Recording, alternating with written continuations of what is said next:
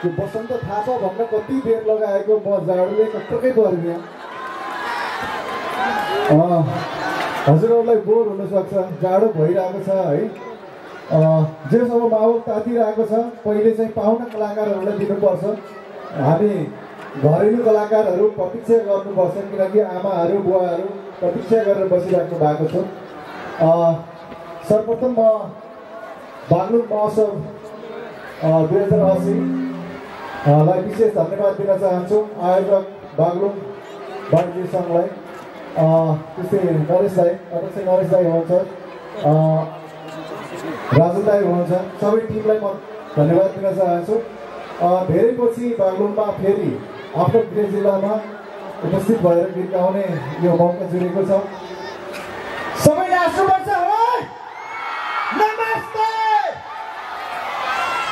म अस्मिता र बिर्ती जति चिच्याउनु त सक्दिनँ तर मुनि मुनि चाहिँ चिच्याउँछु है।